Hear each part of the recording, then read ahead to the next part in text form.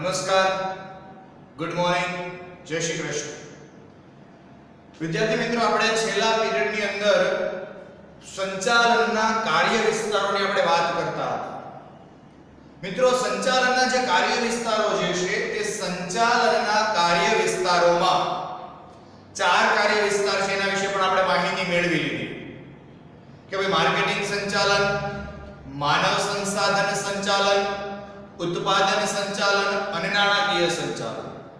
મિત્રો, આ ચાર પ્રકારના જે સંચાલનના કાર્ય વિસ્તારો જે છે, તે ચાર કાર્ય વિસ્તારમાંથી એક કાર્ય વિસ્તાર વિશે આપણે ભણી ચૂક્યા છીએ.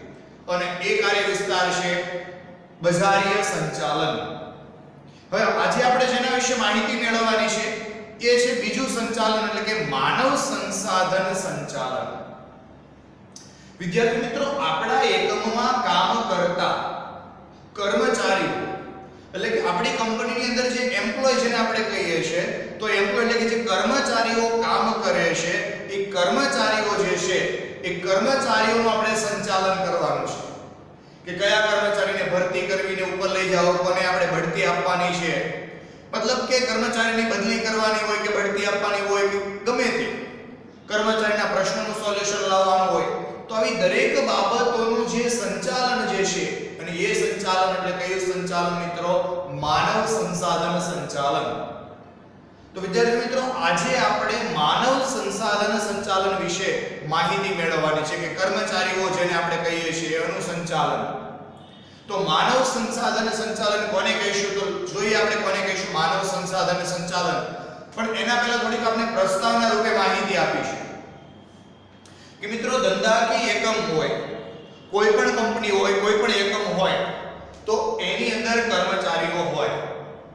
તો મિત્રો, આપણા ધંધાની અંદર કર્મચારી હોય તો એની સામે આપણે એવું કહેવાય કે આપણા ધંધાની અંદર જે જમીન છે, આપણા ધંધાનું કોઈ મકાન હોય, કંપનીની કોઈ મિલકત હોય, તો એનું તમે જો જાળવણી કરો, એનું જો તમે જતન કરો, મતલબ કે મકાનને વ્યવસ્થિત સાચવો છો, વાહનોને વ્યવસ્થિત સાચવો છો, યંત્રો વ્યવસ્થિત જાળવણી કરો છો. તો મિત્રો, જો તમે નિર્જીવ મિલકત એટલે કે જમીન મકાન યંત્ર આ બધી કેવી મિલકત કહેવાય?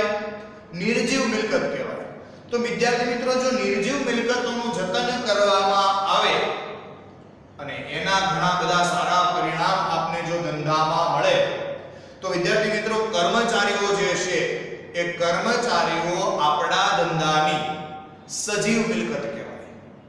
કર્મચારીઓ ધંધાની કેવી મિલકત કહેવાય મિત્રો? સજીવ મિલકત. અને એમાંય પછી કેવી અમૂલ્ય કે જેનું આપણે મૂલ્ય ન આપી શકાય કારણ કે આપણા ધંધાની સફળતા કે નિષ્ફળતાનો મેન આધાર કોના ઉપર થઈ જાય? કર્મચારીઓની કાર્યક્ષમતા ઉપર. જો મિત્રો કર્મચારીઓ બરાબર કામ કરશે, તો આપણો ધંધો શું થાય? સફળ થાય.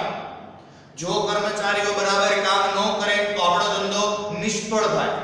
તો મિત્રો આપણે કહેવા એવું માંગે છે કે જો તમે નિર્જીવ મિલકતનું જતન કરો, એની જાળવણી કરો છો, અને એના ખૂબ જ સારા પરિણામ તમને મળે છે, તો મિત્રો આ કર્મચારીઓ જે છે, એ કર્મચારીઓ આપણા ધંધાની સજીવ મિલકત કહેવાય, અને એનું જો જતન કરવામાં આવે, તો ખૂબ જ સારા પરિણામ આપને પ્રાપ્ત થાય. એટલા માટે ધંધાકીય એકમની અંદર કર્મચારીઓ જે છે એનું સંચાલન કરવામાં આવે છે. અને કર્મચારીઓનું સંચાલન, મેં તમને કીધું એમ કે માનવ સંસાધન સંચાલન, જેને આપણે હ્યુમન રિસોર્સ મેનેજમેન્ટ એવું કહેતા હોઈએ છીએ અંગ્રેજીમાં.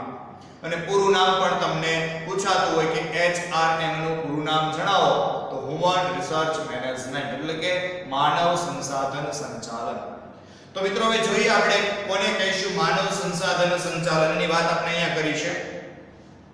તો માનવ સંસાધન સંચાલનની જો વાત કરવામાં આવે તો માનવ સંસાધન સંચાલન એટલે શું? તો ટાઇટલ આપીએ આપણે માનવ સંસાધન સંચાલન. કયું સંચાલન કીધું મિત્રો? માનવ સંસાધન સંચાલન એટલે હ્યુમન રિસોર્સ મેનેજમેન્ટ શું કહીશું અંગ્રેજીમાં ટૂંકમાં H R M. Human resource management યાદ રહેશે મિત્રો? તો કોને કહીશું? માનવ સંસાધન સંચાલન તો વ્યાખ્યા આપણે મિત્રો ટેક્સ્ટ બુકની અંદર ચોપડીમાં આપને આપેલી છે કે ધંધાકીય એકમમાં કામ કરતા કર્મચારીઓમાં રહેલા. આપણે લખશું વ્યાખ્યા કે ધંધાકીય એકમમાં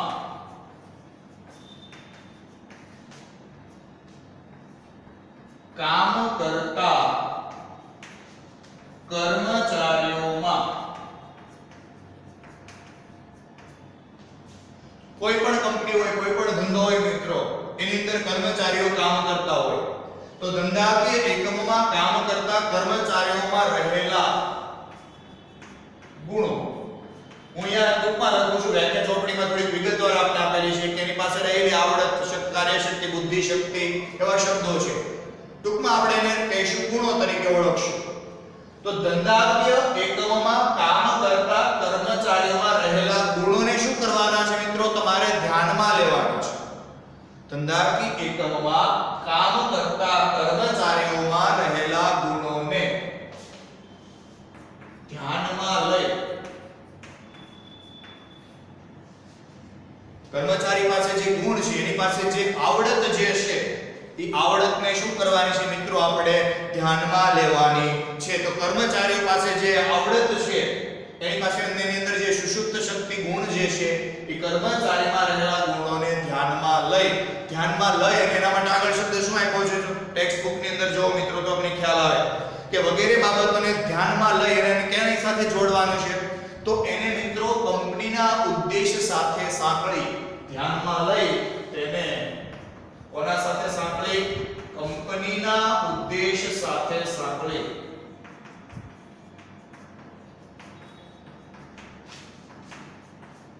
એટલે કે જે કર્મચારી પાસે જેવા ગુણો જેવી આવડત રહેલી છે, એવી તમામ બાબત, એવી તમામ આવડતને આપણે શું કરવાની? ધ્યાનમાં લેવાની અને એને કોની સાથે સાંકળવાની? તેને કંપનીના ઉદ્દેશો સાથે સાંકળી અને કંપનીને કઈ તરફ, ધંધાને કઈ તરફ? તો ધંધાને સફળતાના માર્ગે. આગળનું વાક્ય આપણે કીધું છે, સાંકળી અને ધંધાને, એટલે કે કંપનીને સફળતાના માર્ગે. લઈ જવાની પ્રક્રિયા. એટલે શું કહેવાશે? માનવ સંસાધન સંચાલન. તો વ્યાખ્યા આપણી અહીંયા બની ગઈ છે કમ્પ્લીટ ટૂંકમાં આપણે મિત્રો વ્યાખ્યા બનાવી છે ચોપડીની અંદર પણ મેં કીધું વિગતવાર આપણે વ્યાખ્યા આપી છે. તો કોને કહીશું? માનવ સંસાધન સંચાલન. ફરી એક વખત કે ધંધાકીય એકમોમાં કામ કરતા કર્મચારીઓમાં આપણી કંપનીમાં જે કર્મચારીઓ કામ કરે છે, એ કર્મચારીઓમાં રહેલા ગુણોને ધ્યાનમાં લઈ કર્મચારી પાસે જે ગુણ જે છે, આવડત જે છે, એને ધ્યાનમાં લઈ તેને કંપનીના ઉદ્દેશો સાથે શું કરવામાં આવે? સાંકળવામાં આવે. એટલે કે તેને કંપનીના ઉદ્દેશો સાથે સાંકળી. અને ધંધાને ક્યાં લઈ જવાનો? તો કે ધંધાને સફળતાના માર્ગે લઈ જવાની પ્રક્રિયા.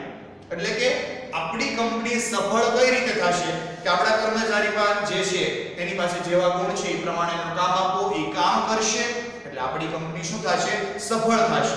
એટલે વાક્ય રચના મિત્રો પ્રમાણે આપી કે તને કંપનીના ઉદ્દેશ્ય સાથે સાંકળી, ધંધાને સફળતાના માર્ગે લઈ જવાની પ્રક્રિયા, એટલે શું કહેવાશે? માનવ સંસાધન સંચાલન. તો મિત્રો, માનવ સંસાધન સંચાલન જે છે, એના લક્ષણો છે અને એનું મહત્વ પણ છે. ત્રણ માર્કમાં આ સવાલ તમને પૂછાઈ શકે કે માનવ સંસાધન સંચાલનનો અર્થ આપી તેના લક્ષણો સમજો અથવા તેનું મહત્વ સમજાવો તો મિત્રો, માનવ સંસાધન સંચાલનના ઘણા બધા લક્ષણો છે. જોઈએ કયા લક્ષણોમાં શું કહે છે આપણે તો મિત્રો, પહેલું જ લક્ષણ આપણે ટેક્સ્ટ બુકની અંદર આપ્યું છે કે માનવ સંસાધન સંચાલનમાં કર્મચારીઓની ભરતી, પસંદગી, તાલીમ બઢતી વગેરેનો સમાવેશ થાય છે. તો મિત્રો, આપણે પહેલું લક્ષણ લખશું. લક્ષણોમાં પહેલું લક્ષણ શું કીધું? કોનો કોનો સમાવેશ થાય? તો તાલીમ. માનવ સંસાધન સંચાલનમાં કોનો સમાવેશ થશે? તાલીમ, ભરતી, બઢતી, બદલી દોરવણીનો સમાવેશ. તો મિત્રો, માનવ સંસાધન સંચાલન જે છે, એ માનવ સંસાધન સંચાલનમાં કર્મચારીને તાલીમ આપવામાં આવે. તો તાલીમ, એની ભરતી કરવાનું કાર્ય અથવા એને બઢતી આપવામાં આવે તો બઢતીનું કાર્ય અથવા એની બદલી કરવામાં આવે તો બદલીનું કાર્ય. અને છેલ્લે એને કોઈ દોરવણી આપવામાં આવે છે, માર્ગદર્શન આપવામાં આવે છે, તો દોરવણીનો પણ સમાવેશ માનવ સંસાધન સંચાલનમાં કરવામાં આવે છે. આ મિત્રો પહેલું લક્ષણ આપણે કીધું. બીજું લક્ષણ શું કીધું છે? તો બીજું લક્ષણ ટેક્સ્ટ બુકમાં આપણે કીધું છે, માનવ સંસાધન સંચાલનમાં કર્મચારીના વ્યક્તિગત ધ્યેયને કોના સાથે જોડવામાં આવે તો એ વ્યાખ્યામાં પણ છે મિત્રો. ગુણોને ધ્યાનમાં લઈ કંપનીના ઉદ્દેશ્ય સાથે સાંકળવામાં આવે. એટલે કર્મચારીના વ્યક્તિગત ધ્યેયને કોના સાથે જોડવામાં આવે છે? તો કર્મચારીના વ્યક્તિગત ધ્યેયને મિત્રો કંપનીના ઉદ્દેશ્ય સાથે સાંકળવામાં આવે છે. તો મિત્રો બીજું લક્ષણ આપણે અંડરલાઈન કરતા જઈએ લખતા જશું તો આપણે અંડરલાઈન અથવા તો લખી શકીએ, વ્યક્તિગત ધ્યેયને કંપનીના ધ્યેય સાથે સાંકળવામાં આવે છે. કર્મચારીના ધ્યેયને કોના સાથે સાંકળવામાં આવે? કંપનીના ધ્યેય સાથે સાંકળવામાં આવે. કે કર્મચારીનો વ્યક્તિગત ધ્યેય જે છે પગાર લેવાનો કે આવક મેળવવાનો છે. પણ એ પગાર મેળવવા કે આવક મેળવવા માટે કામ કરશે ને કામ કરશે એટલે કંપનીને ફાયદો થશે. તો મિત્રો એવું કહી શકાય કે કર્મચારીના ધ્યેયને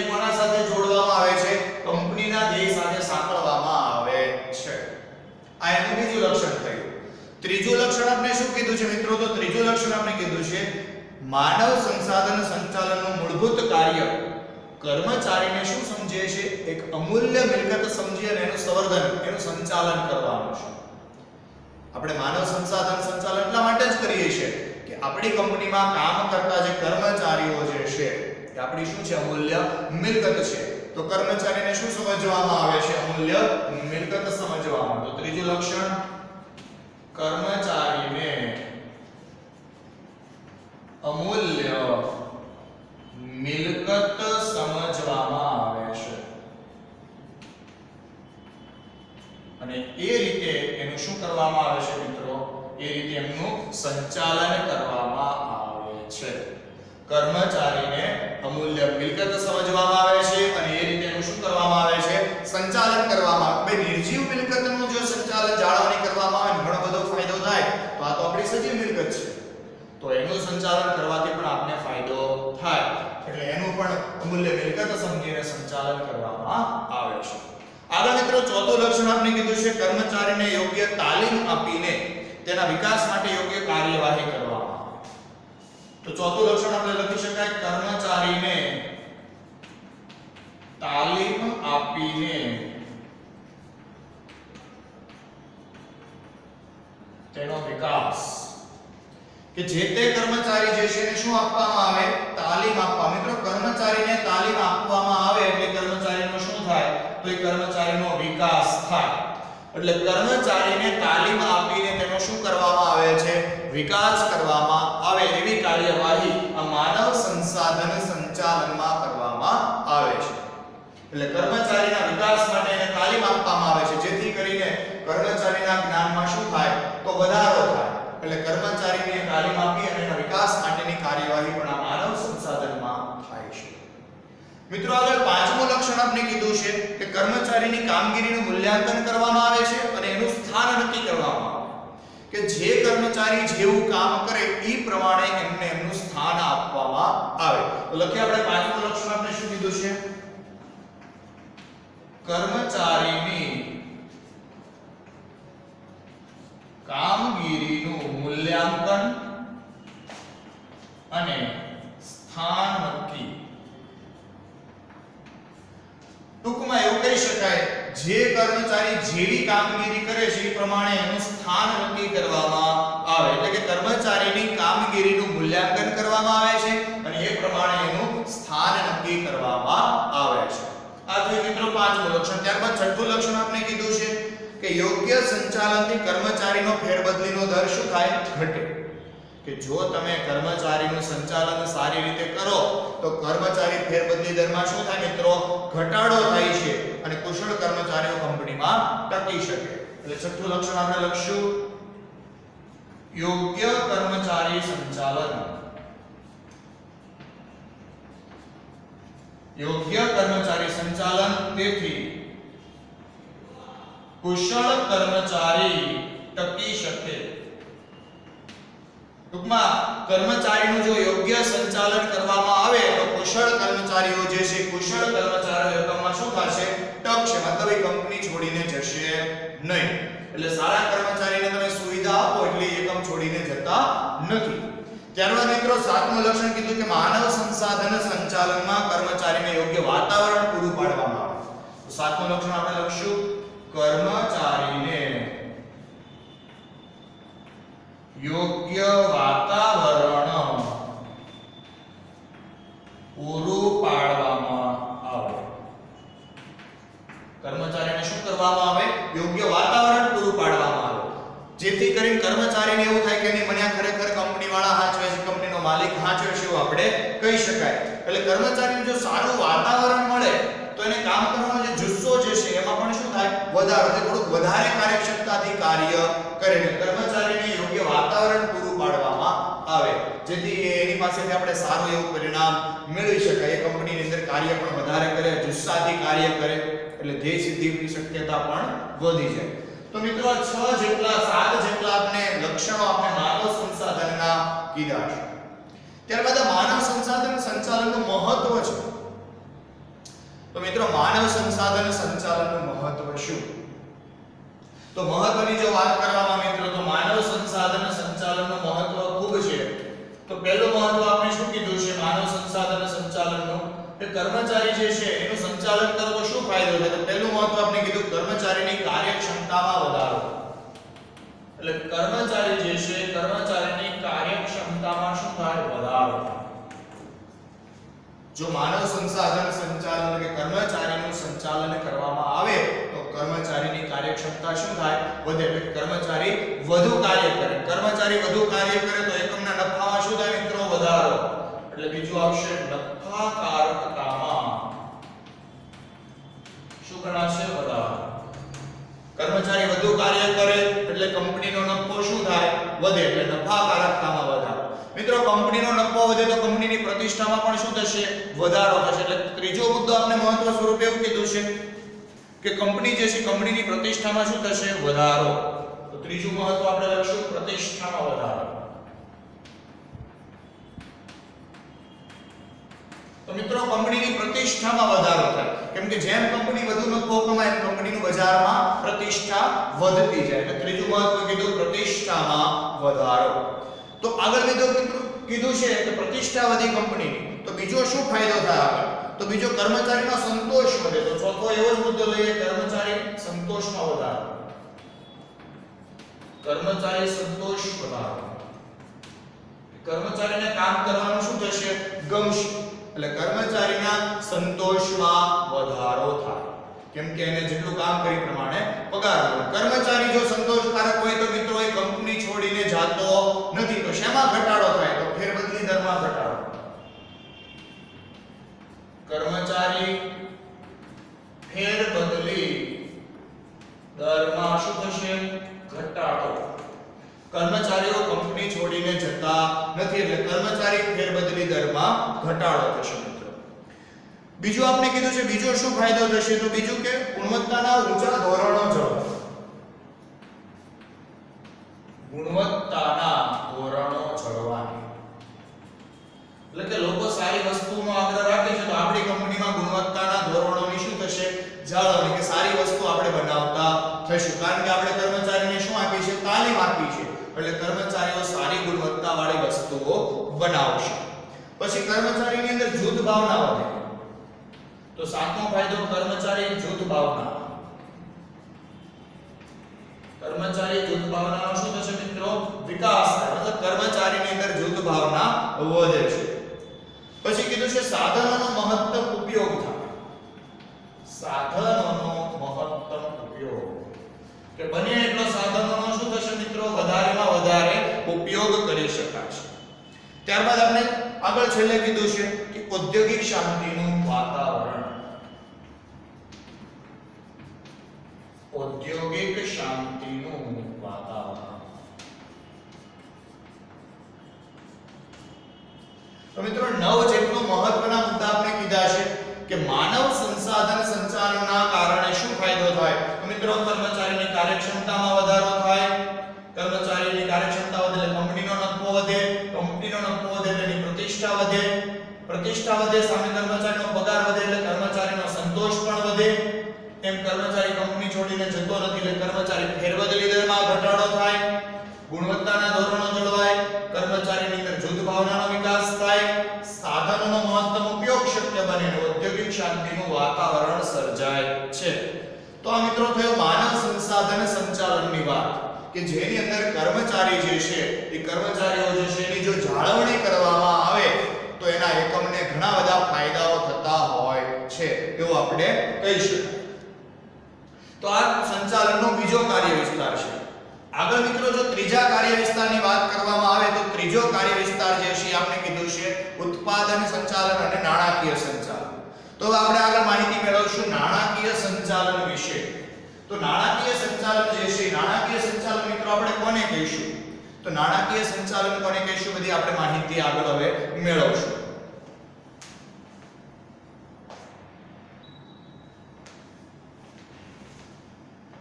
તો મિત્રો આગળ આપણો સવાલ કન્ટિન્યુ કરીએ. હવે સવાલ આપણો આવે છે, નાણાકીય સંચાલન.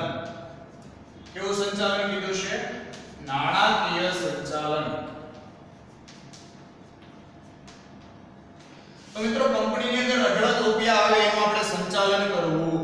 પડે કે કરોડો અબજો રૂપિયાનો વહીવટ હોય, તો એનું જે સંચાલન કરવાનું છે, એ છે આપણું નાણાકીય સંચાલન. તો મિત્રો, આપણે ટેક્સ્ટ બુકમાં કીધું છે કે ધંધાકીય એકમમાં નાણું એ જીવન રક્ત સમાન છે. કારણ કે ધંધાની અંદર ડગલે અને પગલે તમારે નાણાંની જરૂર પડે. એટલે નાણું જે છે, એ નાણું એવું છે, જીવન રક્ત સમાન છે. આપણે કહી શકાય, નાણા વગર કોઈ પણ પ્રવૃત્તિ શક્ય નથી. જો પૈસા ન હોય, તો ખરીદીથી લઈ અને વેચાણ સુધીના તમામ કાર્ય શું થઈ જાય? ઊભા રહી જાય છે. એટલે નાણા વગર કોઈ પણ પ્રવૃત્તિ શક્ય નથી. એટલે નાણાનું સંચાલન કરવું પડે. તો નાણાકીય સંચાલન એટલે શું? તો મિત્રો, નાણાકીય સંચાલન એટલે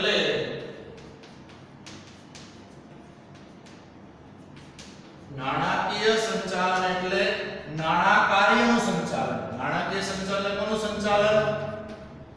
નાણાં કાર્યનું સંચાલન.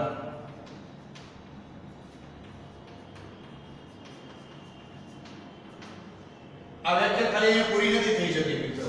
નાણાકીય સંચાલન એટલે નાણા કાર્યનું સંચાલન. પણ નાણા કાર્ય એટલે શું? તો એના માટે પણ ચોપડીની અંદર ટેક્સ્ટ બુકમાં આપણે આગળ કીધું છે. તો કે નાણાં કાર્ય એટલે અને નાણાંના ઉપયોગ કરવાનું કાર્ય. નાણાં કાર્ય એટલે શું કહેવાય છે? તો નાણાં કાર્ય એટલે નાણાં કાર્ય એટલે નાણાં મેળવવાનું અને ઉપયોગ કરવાનો અને ફાળવણીનું કાર્ય કઈ રીતે થવું જોઈએ? તો ફાળવણીનું કાર્ય ધ્યેયપૂર્ણ થવું જોઈએ.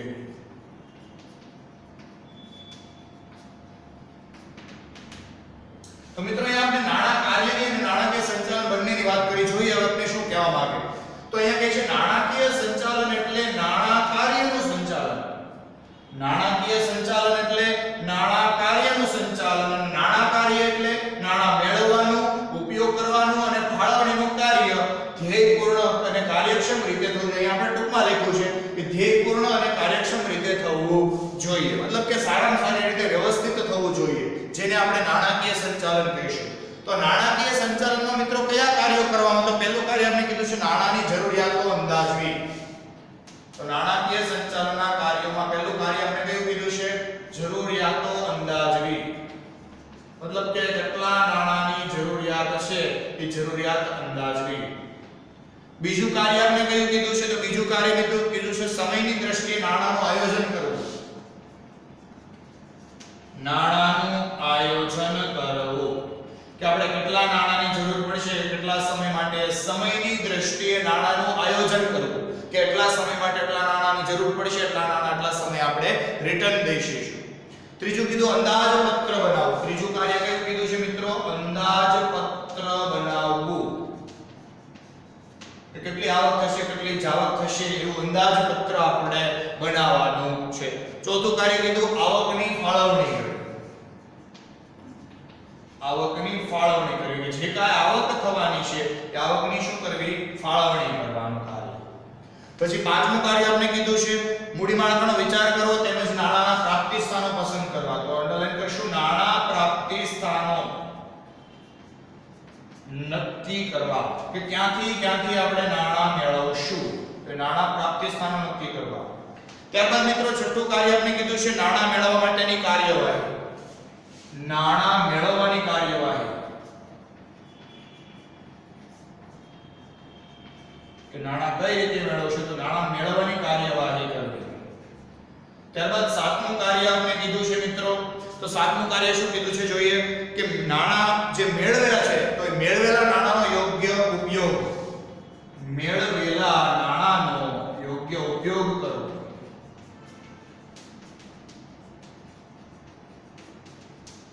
ત્યારબાદ આઠમું કાર્ય શું કીધું છે? તો આઠમું કાર્ય આપણે એવું કીધું છે કે નાણાકીય નીતિ નક્કી કરવી. કે કઈ રીતે આપણે નાણાકીય બાબતો અનુસરશું? તો નાણાની નીતિ નક્કી કરવી. નાણાકીય નીતિ નક્કી કરવી. ત્યારબાદ નવમું કાર્ય આપણે કીધું છે મિત્રો, કે પૈસા જે કઈ છે, પૈસાને આધારે આપણે મિલકતોની કરવેરાનું આયોજન કરીશું. તો નવમું કાર્ય આપણે કીધું છે કરવેરાનું આયોજન. કરવેરાનું આયોજન. કે કેટલા કરવેરા કઈ રીતે આપણે ભરવાના છે? અને છેલ્લે દસમું કાર્ય આપણે કીધું છે. તો દસમું કાર્ય કીધું છે અસ્ત્યાંતો એટલે કે મિલકતોની વ્યવસ્થા કરવી. કે જે કાંઈ પૈસા આવે છે, તો પૈસાના આધારે આપણે જે કાંઈ મિલકત ખરીદવાની થશે, તો મિલકતની વ્યવસ્થા કરવી. કે 10મું કાર્ય આપણે કીધું છે. મિત્રો, તો અહીંયા આપણે જોઈ શકીએ 10 જેટલા કાર્ય આપણે અહીંયા કીધા છે. નાણાકીય સંચાલનના. કે પેલા નાણાની જરૂરિયાતો અંદાજવી, નાણાનું આયોજન કરવાનો સમયની દ્રષ્ટિએ કે કેટલા સમય માટે છે અંદાજપત્ર બનાવવાનું કેટલા નાણાં જરૂર છે? આવકની ફાળવણી જે આવક કયા વિભાગમાં આવક ફાળવશું, નાણાં પ્રાપ્તિ નક્કી કરીશું, નાણાં મેળવવા માટેની કાર્યવાહી કરીશું, મેળવેલા નાણાંનો યોગ્ય ઉપયોગ કરીશું નાણાકીય નીતિ નક્કી કરીશું. કરવેરો કેટલો ભરશું એ બધું નક્કી કરીશું અને છેલ્લે મિલકતોની વ્યવસ્થા કરવામાં આવે. તો આવા 10 જેટલા કાર્યો મિત્રો નાણાકીય સંચાલનમાં કરવામાં આવે છે. છેલ્લો સંચાલનનો કાર્ય વિસ્તાર આપણે કીધું છે ઉત્પાદન સંચાલન તો ઉત્પાદન સંચાલન મિત્રો સંચાલનનો ચોથો કાર્ય વિસ્તાર છે. તો કોને કહીશું? ઉત્પાદન સંચાલન. તો મિત્રો, ઉત્પાદન સંચાલન સમજવા માટે સૌપ્રથમ તો પહેલા આપણે ઉત્પાદન કોને કહેવાય? એના વિશે સમજવું પડે. તો ઉત્પાદન એટલે શું?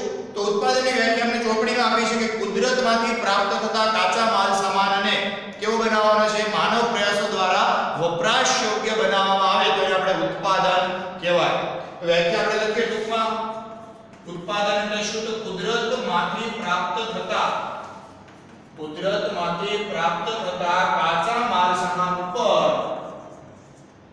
કાચા માલ સામાન ઉપર શું કરવાનું છે કાચા માલ સામાન ઉપર માનવ પ્રયાસો દ્વારા કાચા માલ સામાન ઉપર માનવ પ્રયાસો દ્વારા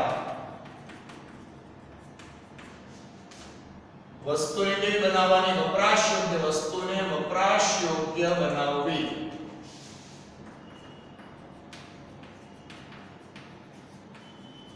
એટલે ઉત્પાદન સંચાલન એટલે કે ઉત્પાદન રૂપમાં એવું કહેવું છે.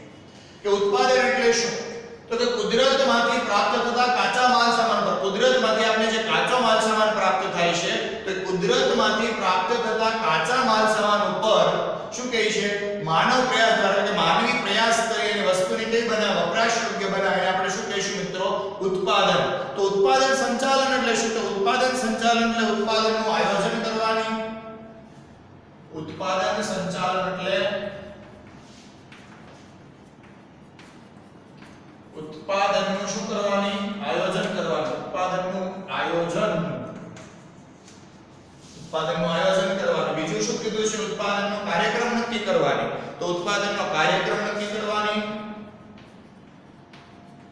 કાર્યક્રમ નક્કી કરવાની. ત્યારબાદ આગળ ત્રીજું આપણે કીધું છે, સંકલન સાધવાની. એટલે કે જોડવાનું કામ સંકલન સાધવાની.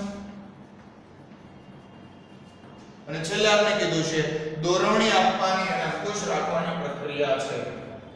દોરવણી અને અંકુશ રાખવાની પ્રક્રિયા. તો અહીંયા મિત્રો આપણે ઉત્પાદન સંચાલનની વ્યાખ્યા આપી છે કે ઉત્પાદન સંચાલન એટલે ઉત્પાદનનું આયોજન કરવાનું કેટલું ઉત્પાદન કરવાનું, ઉત્પાદનનું આયોજન કરવાનું. કાર્યક્રમ નક્કી કરવાની કે આ પ્રમાણે આપણે ઉત્પાદન કરીશું. સંકલન સાધવાનું જોડવાનું કામ. અને દોરવણી આપવાની જરૂર પડે કે આપણે અંકુશ તો રાખવાનો છે. તો અંકુશ રાખવાની આપ્યું છે? એક પ્રક્રિયા છે. ને ઉત્પાદન સંચાલનમાં મિત્રો કયા કાર્યો કરવામાં આવે? તો ઉત્પાદન સંચાલનમાં કયા કાર્ય કરવામાં પહેલું કાર્ય કયું કીધું છે મિત્રો આપણે? ઉત્પાદનનું આયોજન. તો ઉત્પાદન આયોજન. કે ઉત્પાદન એટલે કેટલું ઉત્પાદન? કરવું ઉત્પાદન આયોજન. બીજું આપણે કીધું છે ઉત્પાદન સંશોધન કરવું. બીજું કાર્ય આપણે મિત્રો કયું કીધું છે? ઉત્પાદનનું સંશોધન કરવું. તો ઉત્પાદન, સંશોધન કઈ વસ્તુનું ઉત્પાદન કરશું? પછી આગળ ત્રીજું કાર્ય મિત્ર આપણે કીધું છે, વસ્તુ વિકાસ તેમજ પેદાશ મિશ્રની પસંદગી કરી દો. પેદાશ મિશ્રની પસંદગી. કેવા પ્રકારની વસ્તુ આપણે બનાવશું? તો પેદાશ મિશ્રની પસંદગી. ત્યારબાદ ચોથું કીધું છે, ટેકનોલોજી તેમજ યંત્રોની પસંદગી. તો યંત્રોની પસંદગી. ત્યારબાદ પાંચમું કાર્ય આપણે કીધું છે ધંધાના સ્થાનની પસંદગી. ધંધાના સ્થાનની પસંદગી. કે કઈ જગ્યાએ મિત્રો આપણે આપણો ધંધો શરૂ કરીશું? ત્યારબાદ છઠ્ઠું કાર્ય આપણે કીધું છે, જરૂરિયાતોનો અંદાજ. તો એની જરૂરિયાતોનો અંદાજ કરવાનું કીધું છે, માલ સામગ્રી તેમજ ઉત્પાદન માટે જરૂરિયાતો અંદાજ કે કયા માલ માટે કેટલો કાચો માલ સામાનની જરૂર પડશે તેવી જરૂરિયાતો અંદાજ ત્યારબાદ સાતમું ઉત્પાદન અંકુશ. કે ઉત્પાદન કાર્ય થઈ રહ્યું તેના પર અંકુશ રાખવો પડે તો ઉત્પાદન અંકુશ. પછી ઉત્પાદન પ્રમાણે ગુણવત્તા જળવાય એના માટે ગુણવત્તા અંકુશ. અને છેલ્લે મિત્રો નવમું કાર્ય આપણે કીધું છે, ખર્ચ અથવા પડતર અંકુશ. એટલે નવમું થશે પડતર અંકુશ. કે જેમ બને વસ્તુનો ઉત્પાદનનો ખર્ચ કેવો આવે? ઓછો, એના માટે પડતર અંકુશ કીધું છે ઉત્પાદનના વૈવિધ્યકરણ અને સરલીકરણ ઉત્પાદન વૈવિધ્યકરણ તો મિત્રો અહીંયા 10 જેટલા કાર્યો આપણે ઉત્પાદન સંચાલનના આપ્યા છે પહેલું કાર્ય કીધું ઉત્પાદન આયોજન કેટલું ઉત્પાદન કરવું એ ઉત્પાદનનું આયોજન શું ઉત્પાદન કરવું ઉત્પાદનનું સંશોધન પેદાશ મિશ્ર કેવા પ્રકારની વસ્તુ બનાવવી યંત્રોની પસંદગી કરવી કેવા યંત્રો રાખવા કઈ જગ્યાએ ધંધો શરૂ કરવો સામગ્રી કઈ કઈ જરૂરિયાત થશે જરૂરિયાતો અંદાજવી ઉત્પાદન ઉપર અંકુશ રાખવો સારી ગુણવત્તાવાળી વસ્તુ બને ગુણવત્તા અંકુશ વધારે ખર્ચ ન થાય એના માટે પડતર અંકુશ અને ઉત્પાદનમાં કઈ વૈવિધ્યકરણ આવતું ઉત્પાદન વૈવિધ્યકરણ તો 10 જેટલા કાર્ય મિત્રો, આપણે ઉત્પાદન સંચાલનના કીધું છે. મિત્રો, એ સાથે આજનો આપણો જે સવાલ છે તે સવાલ અહીંયા આપણે પૂર્ણ થાય કે સંચાલનના કાર્ય વિસ્તારો સમજાવો તો ચાર કાર્ય વિસ્તારો આપણે પૂર્ણ કર્યા. બજારીય સંચાલન, માનવ સંસાધન સંચાલન, નાણાકીય સંચાલન અને ચોથું છે ઉત્પાદન સંચાલન. આ કાર્ય વિસ્તારો ચા- સાથે આપણું ચેપ્ટર પણ અહીંયા મિત્રો પૂર્ણ થઈ જાય છે હોમવર્કની અંદર મિત્રો તમારે સ્વાધ્યાય લખવાનો છે અને એ પણ આપણા સબ્જેક્ટની પાકી નોટની અંદર લખવાનું છે. સ્વાધ્યાય જેમ આપણે 11મા ધોરણમાં લખતા હતા એ રીતે લખવાનું છે. પહેલો, બીજો, ત્રીજો ત્રણેય પ્રશ્ન કમ્પ્લીટ વ્યવસ્થિત લખવાના છે. ચોથો ને પાંચમો જે પ્રશ્ન જે છે એની અંદર વ્યાખ્યા અને મુદ્દાઓ તમારે ટૂંકમાં જેમ આપણે 11મા ધોરણમાં લખતા એ રીતે તમારે લખવાના છે. ફરી એક વખત સ્વાધ્યાય પાકી નોટમાં તમારે લખવાનું છે. પહેલો, બીજો અને ત્રીજો પ્રશ્ન વ્યવસ્થિત કમ્પ્લીટલી લખવાના છે. ચોથો અને પાંચમો પ્રશ્ન જે છે એમાં વ્યાખ્યા અને મુદ્દા ટૂંકમાં લખવાના છે. જેમ 11મા ધોરણમાં તમે માત્ર મુદ્દાઓ લખતા એ રીતે માત્ર મુદ્દા અને વ્યાખ્યાઓ લખવાની છે. આખો વિસ્તારથી તમારે લખવાનું નથી બરોબર? ચોથો અને પાંચમો પ્રશ્ન. એ સાથે આજનો આ લેક્ચર આપણે પૂર્ણ કરીએ છીએ. અસ્તુ